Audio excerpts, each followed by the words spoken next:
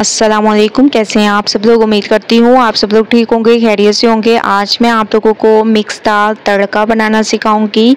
एक नए अंदाज में तो आप लोगों ने पूरी रेसिपी को देखना है और मुझे अपना फीडबैक ज़रूर देना है। रेसिपी स्टार्ट करते हैं।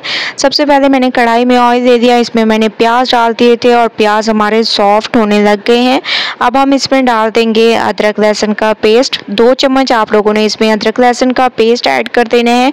खुशबू आने तक इसको पकाएँगे।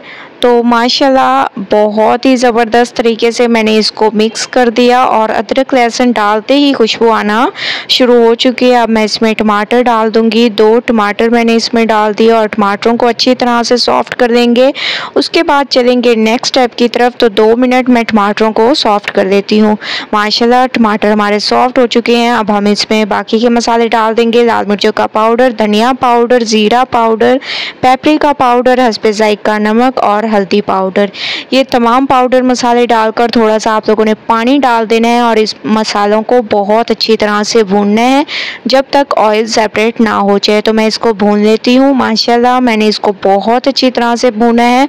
ऑयल सेपरेट होने लग गया अब हम इसमें दाल डाल देंगे, जो मेरे पास दो किस्म की दाल, मूंग और मसूर।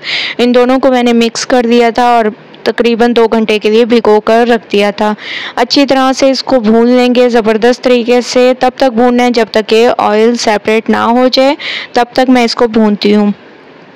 माशाल्लाह, मैंने इसको बहुत अच्छी तरह से भूना है। आप लोग देख रहे होंगे कि ऑयल सेपरेट होने लग गया अब हम इसमें डाल देंगे हरी मिर्चों को।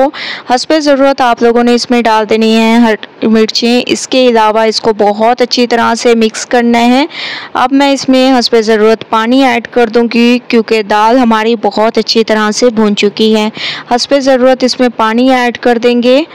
ठीक है, मैं इसमें इतना पानी ऐड कर रही हूँ। अच्छी तरह से चम्मच को चला लेंगे और इसको थोड़ी देर के लिए गलने के लिए छोड़ देंगे, ठीक है। तकरीबन 10 मिनट मैं इसको कवर करके पकाऊँगी, उसके बाद लेके चलूँगी नेक्स्ट स्टेप की तरफ़।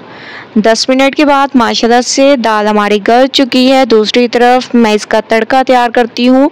इसमें मैंने ऑयल ले लिया, प्याज डाल दी, ज़ीरा और तड़का मिर्च। ठीक है, ये आप लोगों ने चीज़ें डाल देनी है और एक खुशबू आने तक मैं इसको पकाऊँगी। उसके बाद चलेंगे नेक्स्ट स्टेप की तरफ़। माशाल्लाह, बहुत अच्छी खुशबू आने लग गई है ज़ीरे की और प्याज की। अब मैंने इसमें दाल में डाल दिया और इसको जल्दी से कवर कर देंगे। माशाल्लाह, बहुत ही अमेजिंग तरीके से गरम मसाला पाउडर मैंने इसमें डाल दिया। हरा धनिया इसमें डाल देंगे।